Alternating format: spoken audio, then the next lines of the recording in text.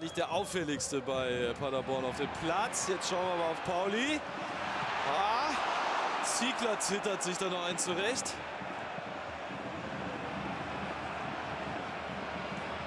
Bartels, Ecke.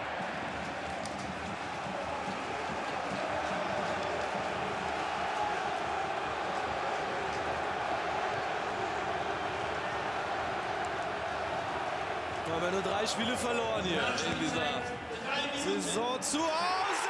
Der Schauner haut ihn rein. Philipp Schauner, der Keeper zum 2-2. Pauli, der Kies steht Kopf.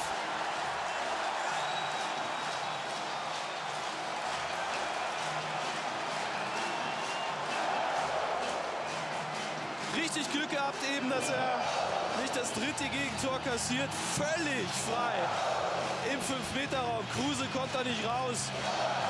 Vielleicht zu überrascht, dass der Schauner da vorne auftaucht. Ziegler geht gar nicht mit hoch. Da jetzt doch ein paar Probleme bekommen in der zweiten Hälfte. Und Philipp Schauner im Stile von Jens Lehmann, der das mal in der ersten Liga machte. Jetzt mit dem Keeper-Tor in der zweiten Liga.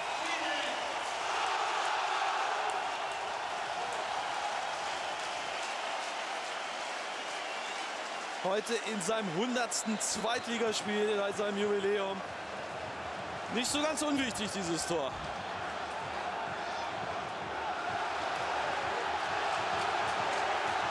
So, Pauli kommt nochmal mit T.